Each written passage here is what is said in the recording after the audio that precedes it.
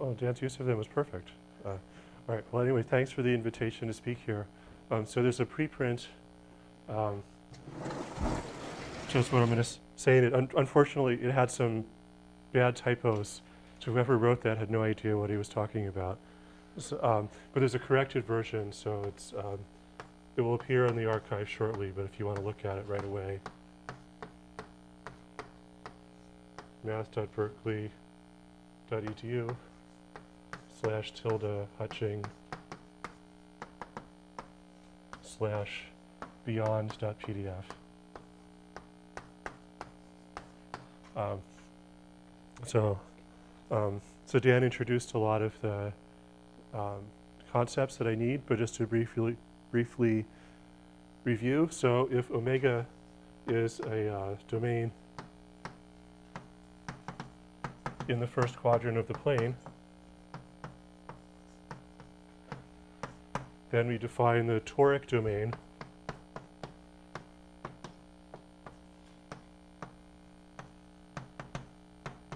um, x omega to be the set of z in C2 such that um, pi z1 squared, absolute value z1 squared, comma pi absolute value z2 squared is in omega. So if omega is a triangle like this that has vertices at the origin at the point a0 and 0b, then this this x omega is an ellipsoid, which I denote by EAB.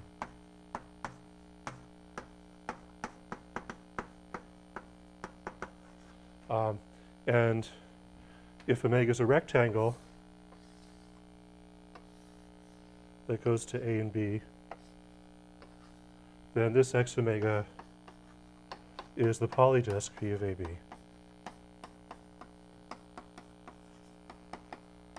Um, so i in general, we're interested in when, when does one symplectic manifold symplectically embed into another. And the examples I'll be talking about today will be toric domains and mainly just ellipsoids and polydisks. Um, and then there's, there's special kinds called convex and concave. So uh, a convex toric domain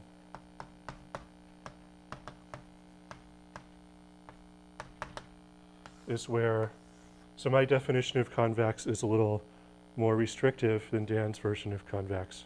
We- call I don't know, Danvex or something. So, uh, so, um, so my version is it is below the graph of a uh, non-increasing concave function, and possibly with a vertical line at the end. Okay? So this is your omega. Okay, so omega is um, xy, where x goes from, say, 0 to a. So here's a. And um, y goes from 0 to f of x, where f is, uh, is concave and non-increasing. So, so in a Danvex domain, this, um, this can sort of curl around like that, and this can curl around like that. Um, um, and actually, I, I could prove something about that too, but so the method I'm going to tell you about is pretty general, but I want to sort of restrict attention to, to some specific examples to avoid uh, making incomprehensible general statements. Okay, so that's a, that's a convex toric domain. And a concave toric domain, by definition, is the same as, as Dan's. Um, and it's from our uh, joint paper with a few other people. So it's um, where omega is below a, uh, the graph of a convex function. So then we could, we could say one, when does one concave or convex toric domain embed into another? So, so Dan in his talk told us how um, for a concave into convex, um, um, or more generally Danvex, then the ECH, each ECH capacities give a sharp obstruction.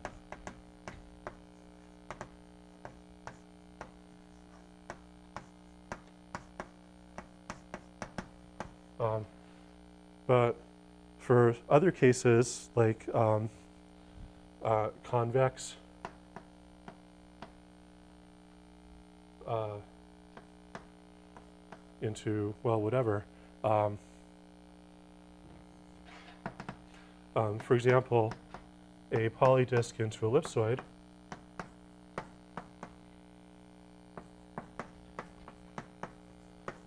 So in this case, ECH capacities are not very good.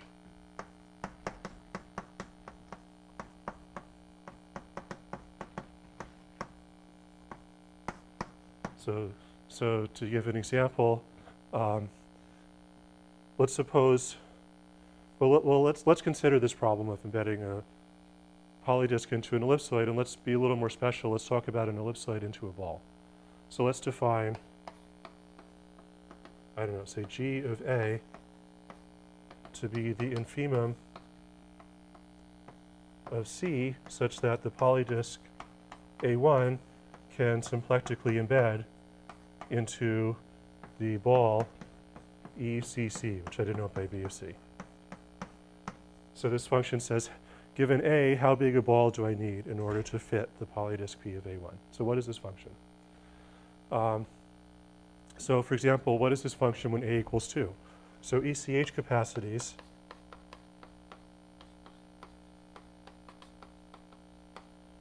um, which nobody's going to actually define today, um, tell you that, that g of 2 is at least 2. So if you, p of 2 comma 1 cannot embed into a ball of size less than 2. However, there's a theorem of Hind and Lisi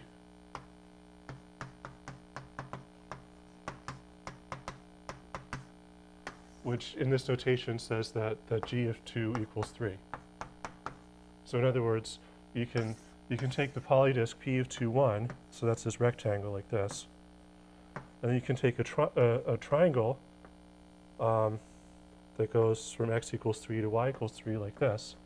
So here we see that the polydisk P of 2, 1 um, is just a subset of the ball B of 3.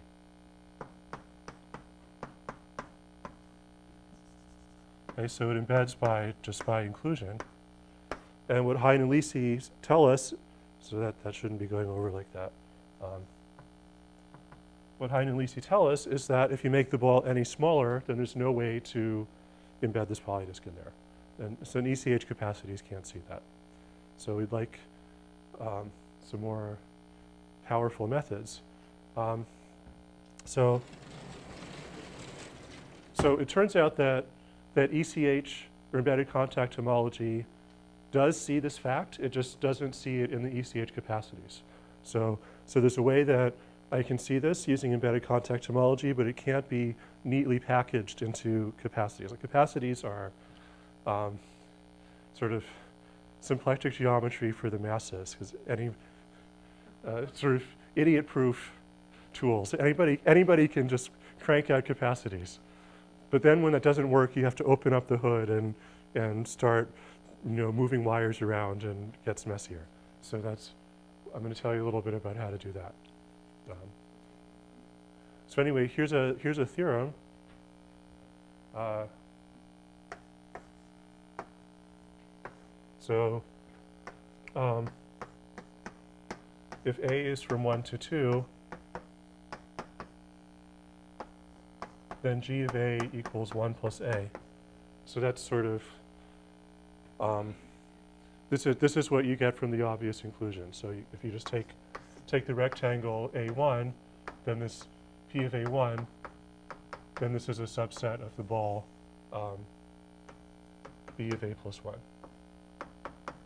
And so, so when the ratio between these two dimensions of the polydisk is less than 2, you can't do any better than the obvious inclusion. Um, now, when A is bigger than 2, you can in fact do better. So, so Felix Schlenk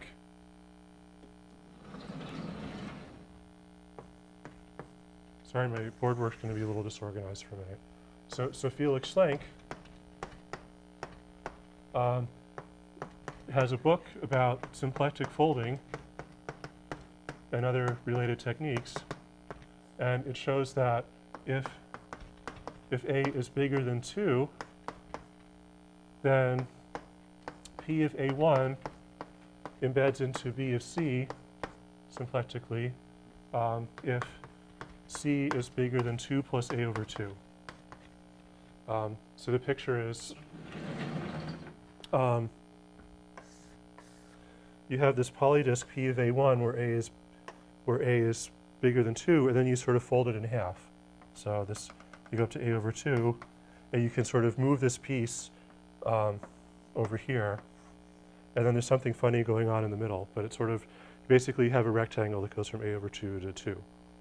And then you, and then that, that can now be embedded in a, the ball B of C whenever C, whenever the ball sort of goes outside of that vertex. Okay? You could ask, about, you know, is that, is that the best possible, or can you do any better than that? So I, I can prove that um, if um, A is between 2 and 12 fifths, then this symplectic folding is actually best. So, so G of A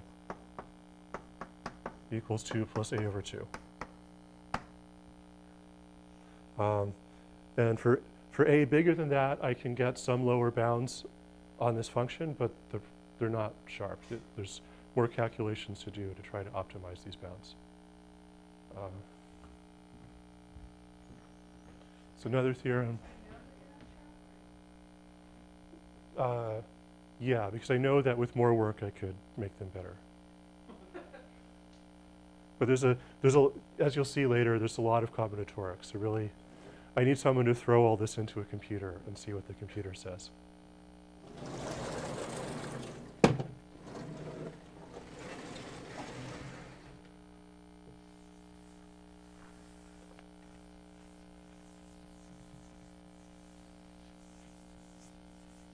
So just to state a couple more results. Um, so another theorem. Um, so if if b is a positive integer,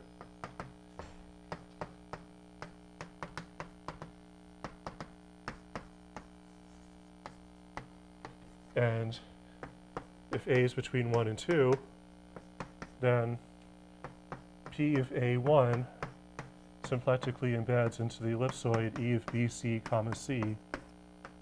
Um, if and only if basically if and only if the obvious inclusion works. Um, so that would be uh, uh, I can never remember what it is? Uh, so a a plus b is less than or equal to bc so this is this so the obvious inclusion is the best you can do in this case. Um, another theorem. Um, we could look at um, symplectically embedding one polydisk into another. Um, so one theorem is that um, if uh, A is between 1 and 2, and if the polydisk P of A1 symplectically embeds into the cube, namely the poly polydisk C comma C, then C is at least A.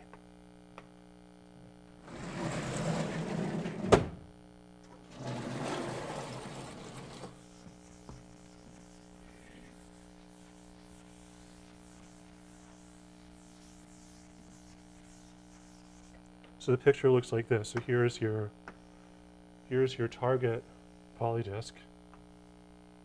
So this is a this the the uh, omega here is a square of side length c, and then if I fill it by a rectangle that takes up more than half of the square. Okay. So if this if this um, if, th if this is bigger than c over 2, um, or bigger than or equal to c over 2, then this this this inclusion is it can't be improved. You you can't shrink c and still embed this. If if c were i- if this were less than c over 2, then you could, you could do a folding again and, and get a better embedding. But when you fill up more than half of the square, you can't improve on it. Um, there's also a generalization of this when you replace this with um, a general polydisk and not just a cube. Uh, so, um, I mean, pretty much any symplectic capacity can see that if this embedding exists, then 1 has to be less than or equal to c. Um, so any symplectic capacity will tell you that if you can embed one polydisk into another, then the smaller dimension of the first polydisk is less than or equal to the smaller dimension of the second.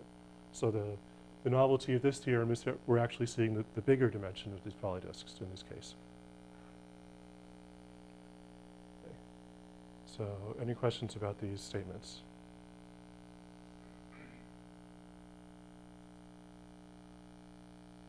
Okay, so how do you prove stuff like this?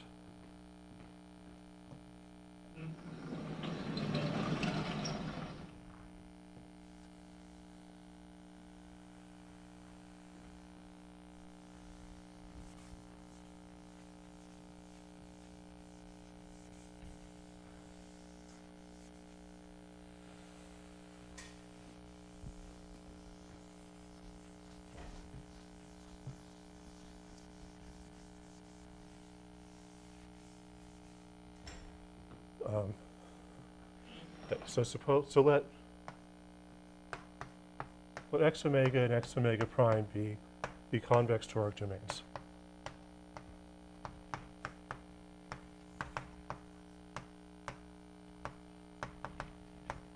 So what I'm going to do now is I'm going to tell you a general combinatorial obstruction to embedding one convex toric domain into another. And then in the, in the special cases that I was talking about, then with, with some calculation you can prove these theorems. Okay, so suppose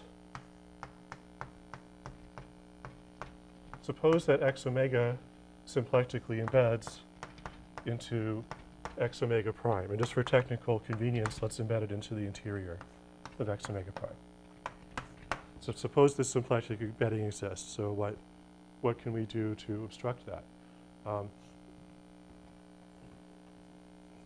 So let's let, let y be, denote the boundary of x omega, and y prime denote the boundary of x omega prime. Right.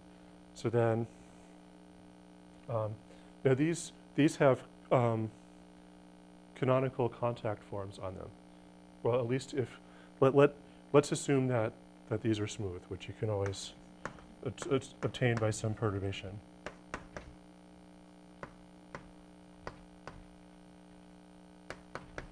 Okay, so if you look at the one form lambda is a half sum from i equals 1 to 2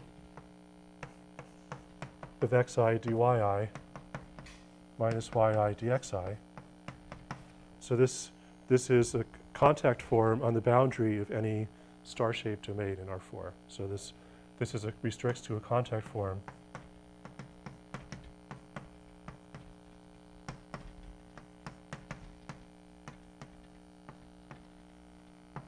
on y and y prime. Okay, so then, um, and, and d of it is the standard symplectic form.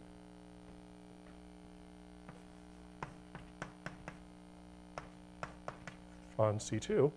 Um, so that tells us that if you look at x omega, my, I should give this symplectic embedding a name, let's call it phi, um, minus um, the interior of phi of x omega prime with the standard symplectic form. So this is a a strong symplectic cobordism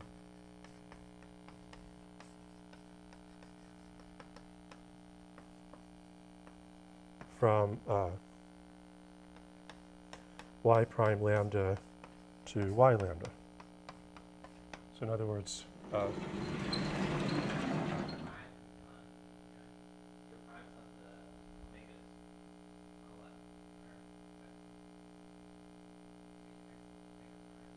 Ah, yes, thank you.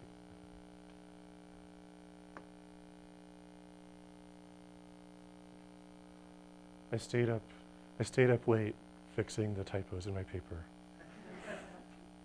so my, my paper is more clear at the expense of my talk being less clear. or typos are just, there's a conservation of mistakes, which is being transferred to my talk.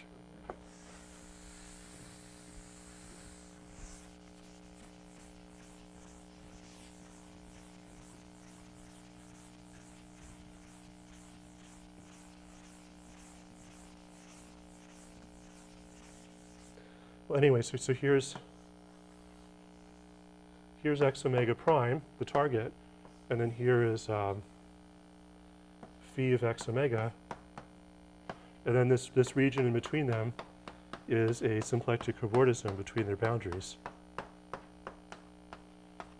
Um, and so we're going to look at holomorphic curves in there. So um, let's call this whole thing W. Okay, so then we take W bar, we complete it. Um, so we're going to take minus infinity to 0 cross y um, union W union uh, 0 infinity cross y prime. Um, so we're attaching symplectization ends to this, and we're going to look at holomorphic curves in here. Okay, So, um, so we choose uh, an almost complex structure J on W bar such that um, on the main part of the cobordism W, J is compatible with the standard symplectic form. Um, and then on the rest, um, well, uh, you, well, J agrees with what's called J plus or J minus. So we'll choose a almost complex, structure, uh, J plus on here, an almost complex structure, J minus, and these should satisfy the usual conditions for defining contact homology. Um, so, um, so J plus or minus is R invariant. Um, preserves uh, preserves the uh, contact structure kernel of lambda and sends the derivative of the R direction S um, to the Reeb vector field R. Okay, and then we want to look at J holomorphic in here.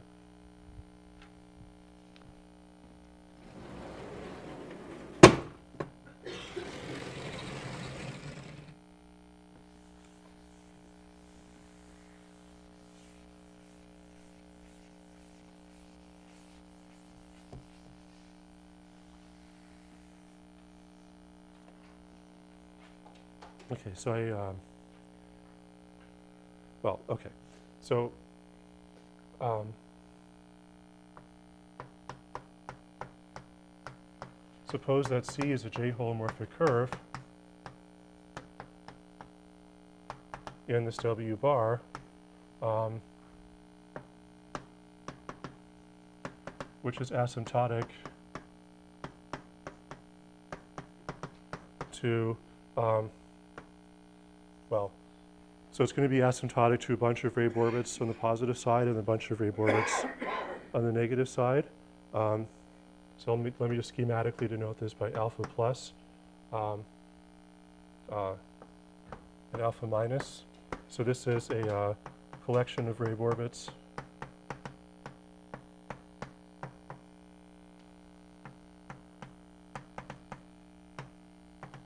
with multiplicities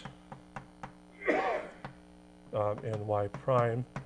And this is a collection of Reeb orbits with multiplicities in y. So if any such curve exists, then a Stokes theorem calculation um, tells you that the integral over alpha plus of the contact form lambda is greater than or equal to the integral over alpha minus of the contact form lambda.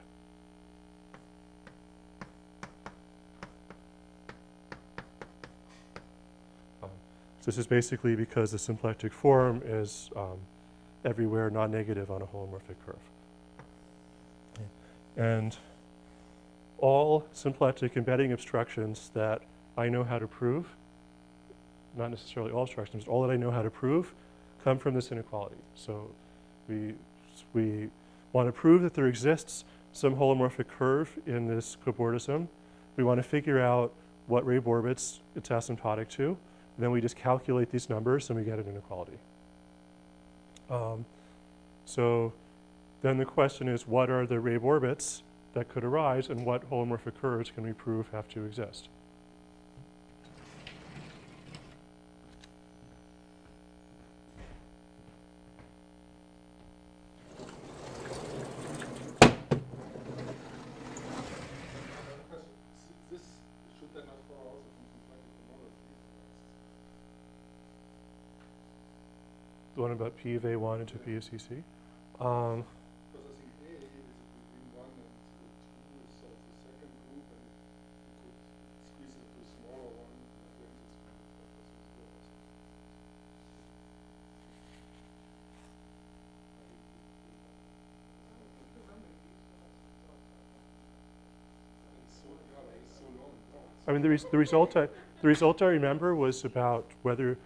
whether this one embedding is, is isotopic to this 90 degree rotation of it. No, but, but I remember because uh, he also had the result that you could bend things when A was in between one or two, and then, Uh-huh. and then the folding was sort of showing, showing you could bend. I mean, Yeah, so I have the feeling because if you look at the groups, the black and white, so the one, so the one gives sort of the nodes. Then we iterated with the two, but if the A is between zero and two, so we have the second group which goes into the A side, and then the CC is on we have sort of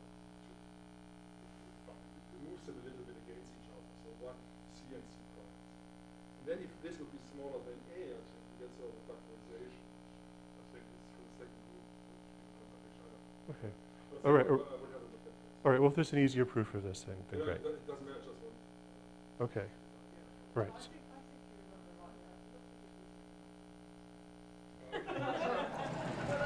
rightly. I forgot to give you- I did understand, I did understand it years and years ago. I, I don't know. All right. Well, I mean, this was, this was a conjecture, stated as a conjecture in a paper of Felix Schlenk from a while ago. So at least as of like 15 years ago, he didn't know this. Um, Well, So- more interesting in a second. Yeah, okay. So, all right. So, so to be, to be continued. Um, okay. Well, but I, I, I- can't, I can't prove theorems live in real time, so I'm just going to continue to tell you the stuff that I already know. um, all right, so, so what are the Reeb orbits?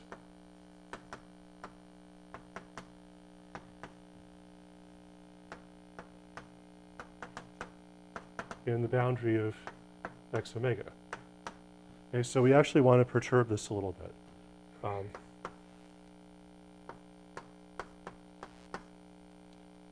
Um, so, and then here's, here's our convex domain omega.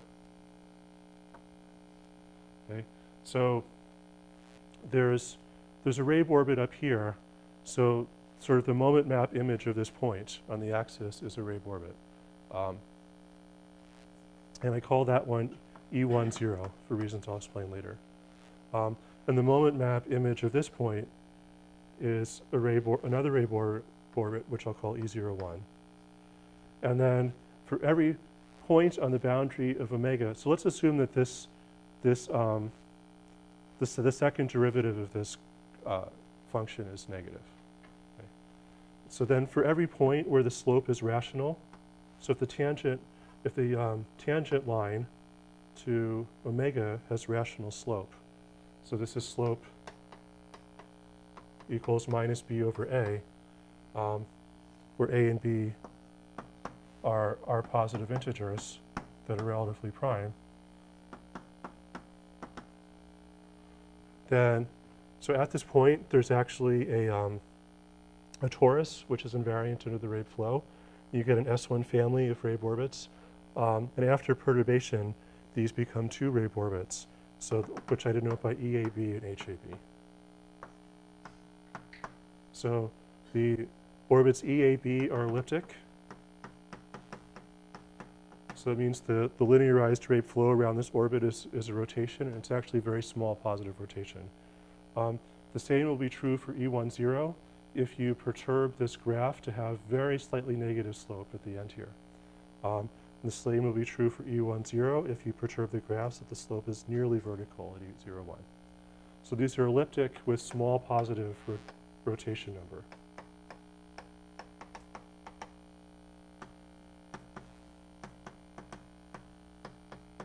Um, and HAB is a, hyper, is a positive hyperbolic orbit.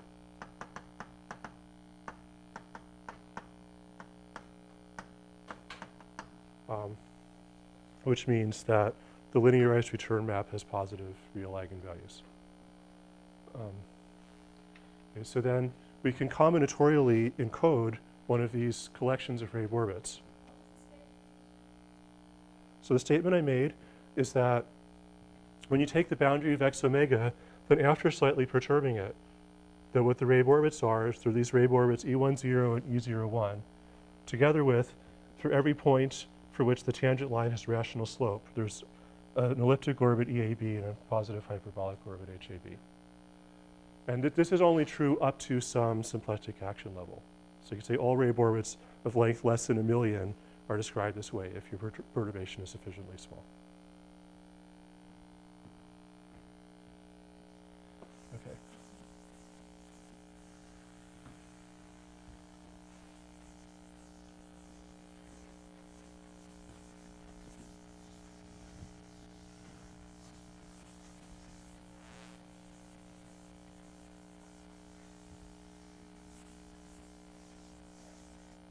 So definition.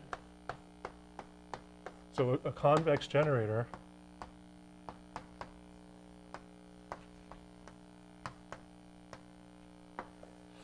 is a uh, commutative formal product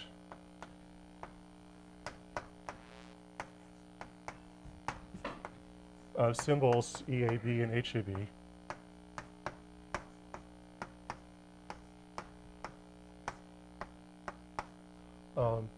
Where no symbol HAB is repeated.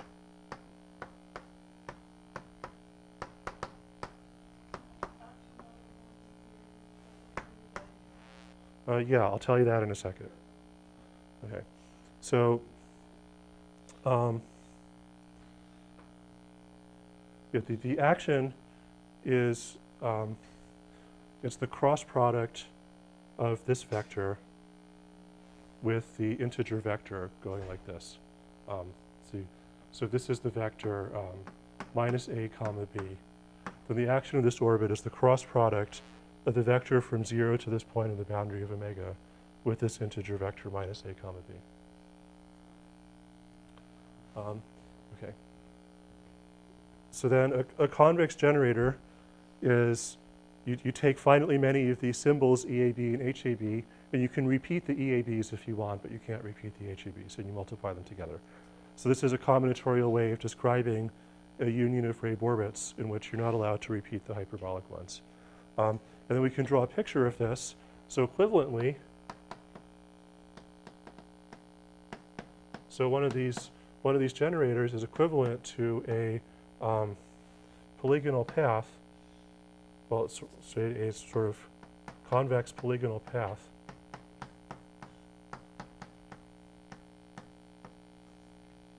Or, well, what, what did I call it in the paper? I called it a convex integ integral path.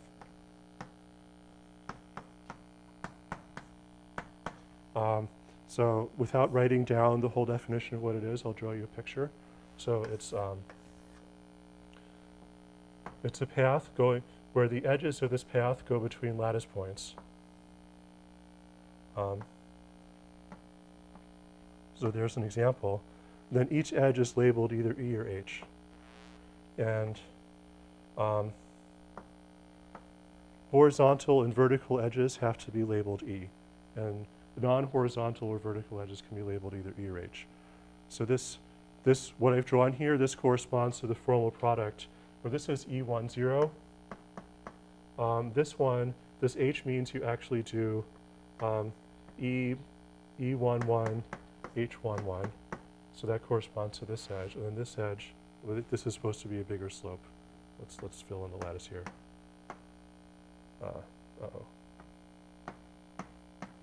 This lattice is seriously not to scale. Um, all right, so then this, this edge is um, E12, and the last edge is E01. So, so basically you take your formal product and you just write the factors in order of, of uh, decreasing slope. And then you think of those as vectors and you just draw them in the plane like this. Okay? So you can either draw these pictures or write down these products. Um, then that means you have a longer edge. So it's like if, if I label this edge E, then this, this would be E11 squared.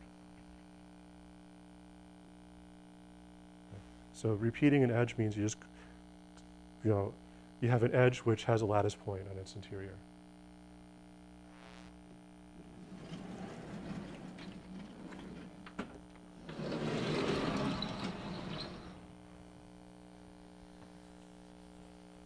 And I'll write down what I said about the symplectic action.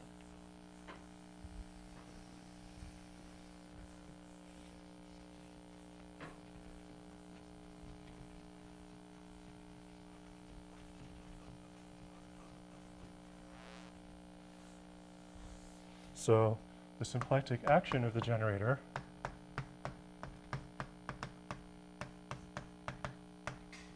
So this depends on your domain omega. So I'll denote this by a omega of, I call this path lambda. So if lambda is one of these paths, so a omega of lambda is the sum over v and edge of lambda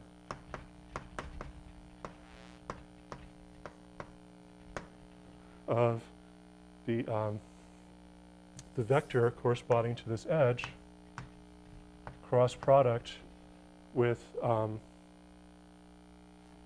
uh,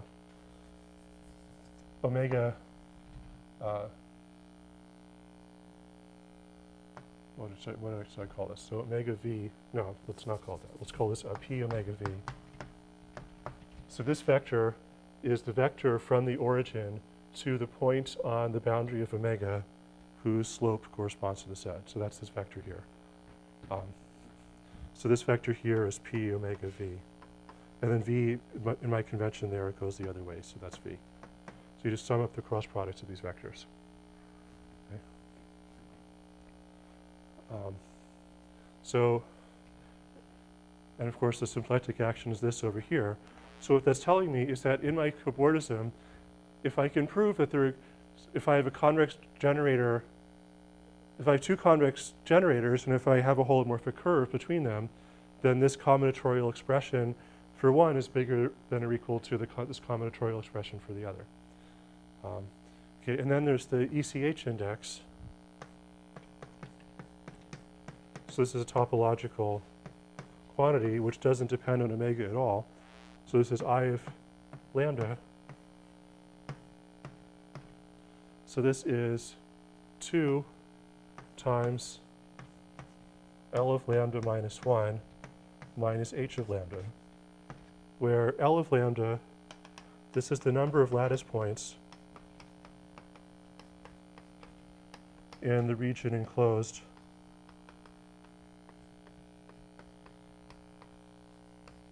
By lambda and the axes, including all lattice, all lattice points on the boundary. And this h of lambda, this is the number of edges that are labeled h.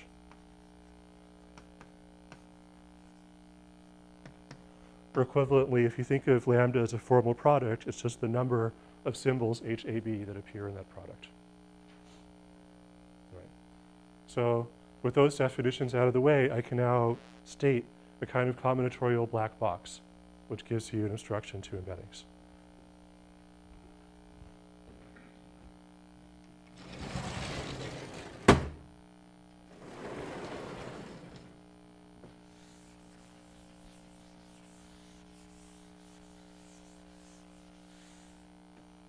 So theorem,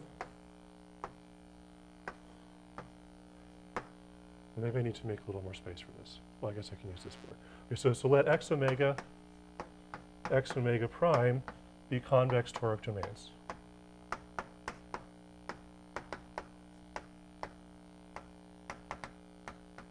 Um,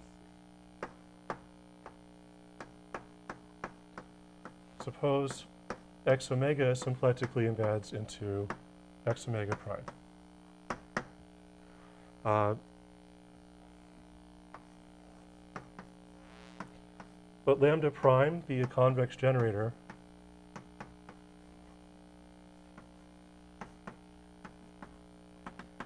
with all edges labeled E.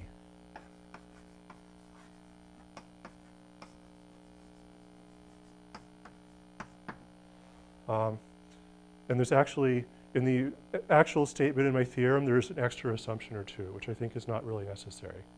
So I'm going to put a little asterisk here, because this is what I think is true, and the actual theorem that I can really prove for sure has a couple of extra irrelevant assumptions. Okay. Um, okay. So then, there exists um, a convex generator lambda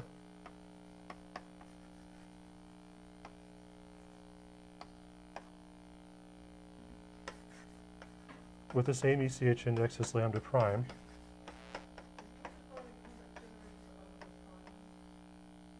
Sorry?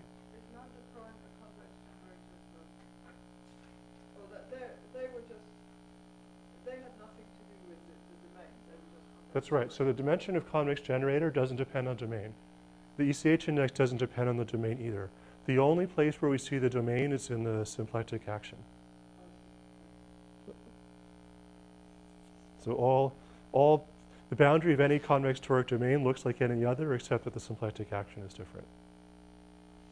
Okay. So there exists a convex generator lambda with i of lambda equals lambda prime. Okay, so so far this contains no information. Um, a positive integer n.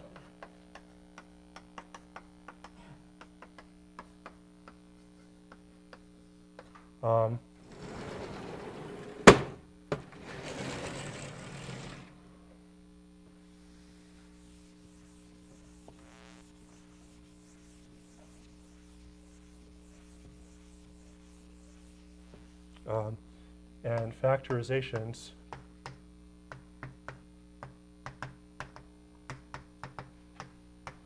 So lambda is a product, lambda 1 times lambda n. So this means I'm thinking of these now as products of these symbols EAB and HAB. So lambda lambda's factored into n factors. Um, lambda prime is factored into n factors, lambda 1 prime through lambda n prime, such that for each i, the following hold. So now we're actually going to get some non-trivial conclusions here. So first of all, um, the index of lambda i equals the index of lambda i prime. Second, and more significantly, the action of lambda i is less than or equal to the action of lambda i prime for omega prime. Okay, so the omega action of lambda i is less than or equal to the omega prime action of lambda i prime. So what's going on here is there's actually a holomorphic curve in the cobordism. So where on the positive ends of the holomorphic curve are in the Reeb orbits corresponding to this lambda i prime, and the negative ends are on the Reeb orbits corresponding to lambda i. So this comes from that Stokes theorem calculation. Um, and there's one additional very important condition um, which is that x of lambda i plus, I'll tell you what these are in a second, plus y of lambda i is greater than or equal to x of lambda i prime plus y of lambda i prime plus m of lambda i prime minus 1. Now, in this last condition, uh, So what the notation means is if I have one of these convex generators lambda, So x of lambda just denotes the x coordinate of the lower right endpoint. And y of lambda denotes the y component of the upper left endpoint. And then m of lambda is the total multiplicity of all the edges. So an edge is multiplicity 1 if there are no lattice points in the interior. If it has k lattice points in the interior, then the multiplicity is k plus 1. So m of lambda is the total multiplicity of all edges.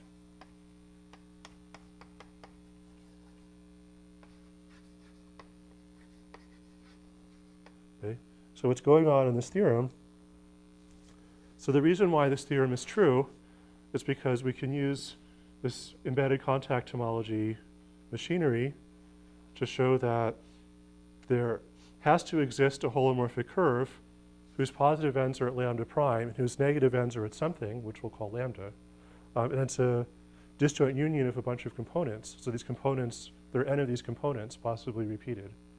Um, and each of these components has ECH index 0, which gives to this, you this first equality. And each of these components, just by virtue of being a holomorphic curve, leads to the second inequality by Stokes' theorem. Um, and this third condition, this third condition is telling you that the genus of this holomorphic curve is non-negative.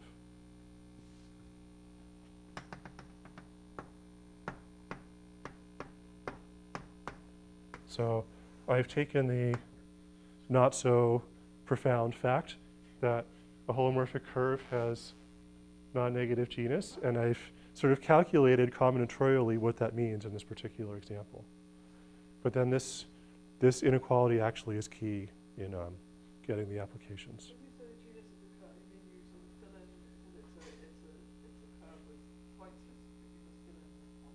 the. Yeah, yeah, I mean, it's a genus, genus G curve with some number of punctures, and G, G cannot be negative.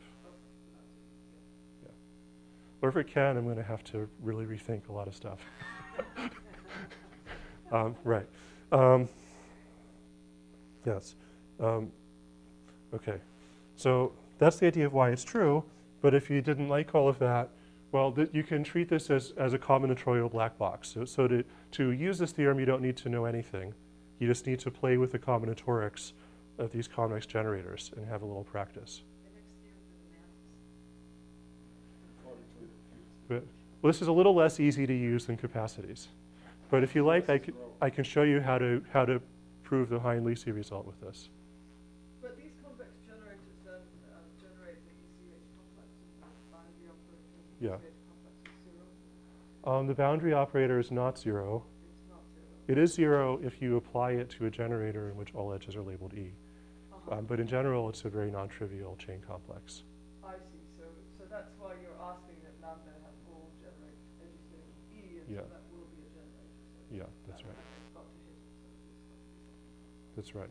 In fact, there are these extra assumptions, which I didn't tell you, which ensure that this cycle represents a non, non-zero homology class in the chain complex, which I think are not necessary, but I haven't proved that yet. Okay.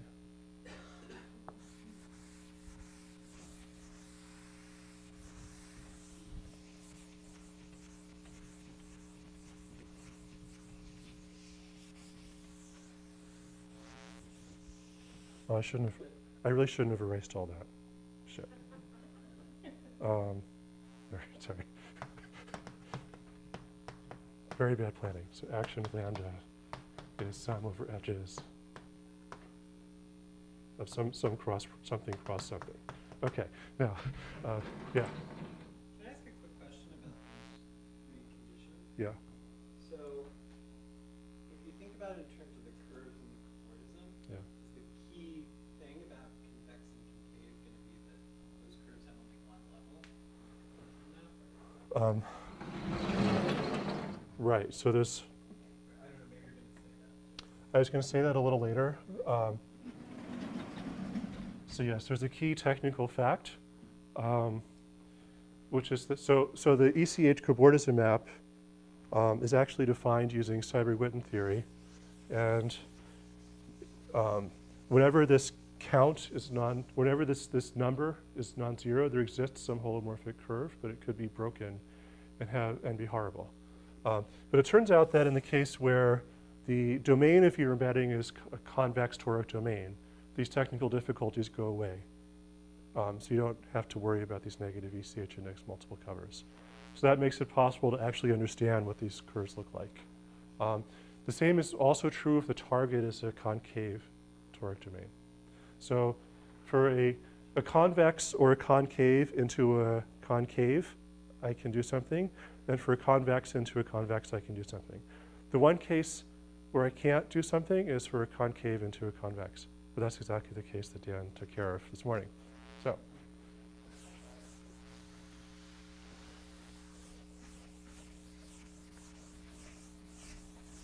All right. So in case this, the statement in this theorem is a little hard to digest, let's just practice with a little practice with it a little bit. So here's the proof that if P of A1 symplectically embeds into B of C and A is between 1 and 2, then C is greater than or equal to 1 plus A. So the, the case A equals 2 is the, the Hind-Lisi result. Okay. So let's suppose that um, A is greater than or equal to 1, that P of A1 symplectically embeds into B of C. And let's suppose to get a contradiction that C is less than 1 plus A. Um, and we want to prove that uh, A is bigger than 2. Okay, so that's, that's our goal. So our goal is to show that A is greater than 2. So how are we going to do this? So, well, so let's, we're going to apply the theorem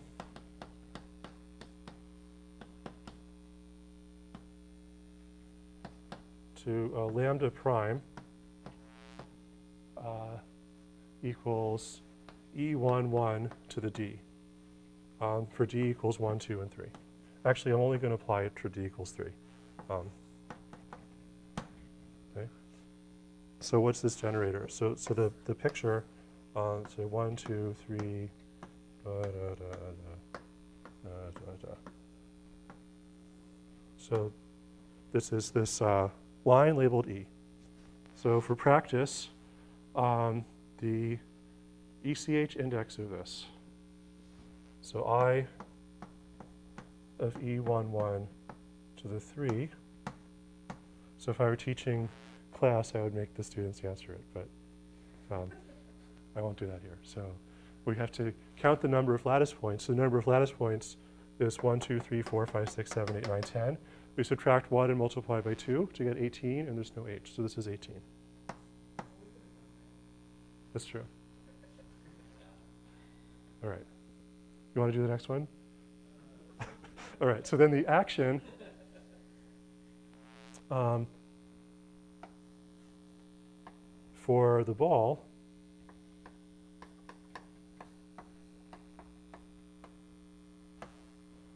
well, this is 3C. Okay, so this has symplectic action 3C. Right? Now I'm going to apply the theorem to this.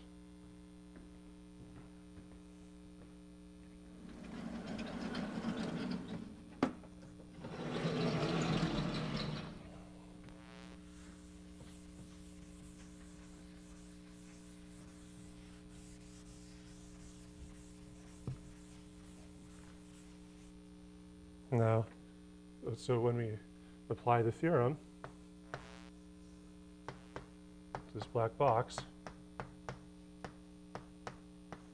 out comes this lambda and then this n and these factorizations.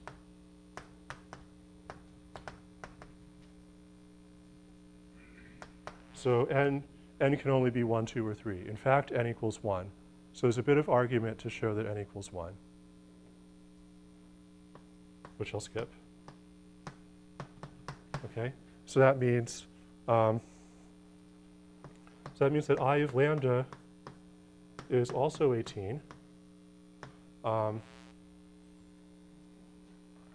now the action of lambda for this polydisk P of A1, what it comes out to is um, x of lambda plus a times y of lambda.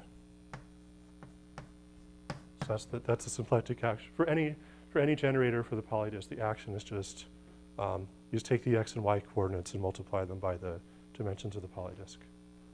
Okay? Um, so then this has to be less than or equal to uh, the action for um, the omega prime, which is 3c. Okay, so we know this. And then this last condition tells us that x of lambda plus y of lambda is greater than or equal to something. So what's the something? So this, this x of lambda prime is 3, the y of lambda prime is 3, the m of lambda prime is also 3. So this is, has to be greater than or equal to 8. Okay, so x plus y is at least 8. So then what are the possibilities for lambda? Um, so if, suppose y of lambda equals 0. So that means it's, it's all, it's all on the, on the uh, x-axis. And because its index has to be 18, it has to go out to the point 9 comma 0. So the only possibility with the correct index is lambda equals e1 0 to the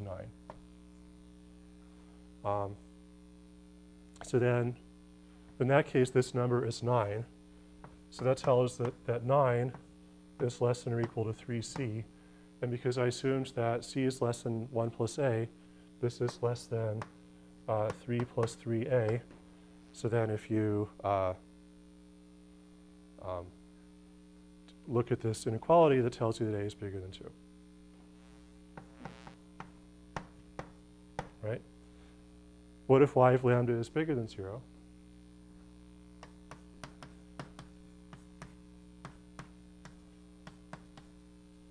Well, so x and y have to add up to 8, and this y is at least 1. So this thing is at least 7 plus a. Okay? So you get that 7 plus a is less than or equal to 3c, um, which is less than 3 plus 3a. And this inequality also tells you that a is bigger than 2. So either way, a is bigger than 2. Okay, so that's just, that's just an example of calculation using this theorem. So it looks a little weird, but if you, with a little practice, you can start cranking out these corollaries, which I stated at the beginning.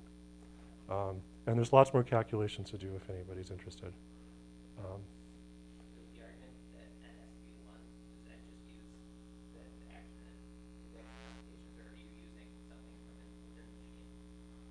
Um, right, so if so, you have to you have to do some similar calculations to show that n is equal to one. If n is bigger than one, well, there's, there's a very small number of cases to check. Um, so you just check them, check them all and rule them out. So So Uh, you're eith- out just by index yeah, yeah. So either the index would was my- That was my question. yeah, either the index would be too small or the action would be too big. All right. So um, was there anything else I was supposed to say? Uh, I, I guess not. So there's there you go. Thanks.